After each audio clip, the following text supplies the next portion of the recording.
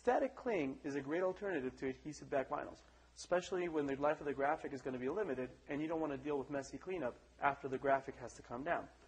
In this case, we're going to apply some white static cling to this window. Now, before you apply the graphic, make sure the surface is clean. Static cling works very well with glass and highly polished surfaces. Moisten the surface with water. Remove the backing sheet from the product.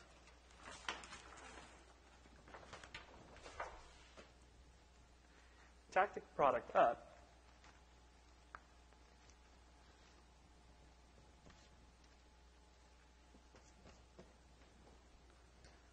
Wet the surface to ensure not scratching the surface of the product. And use a rubber squeegee to get all the moisture out.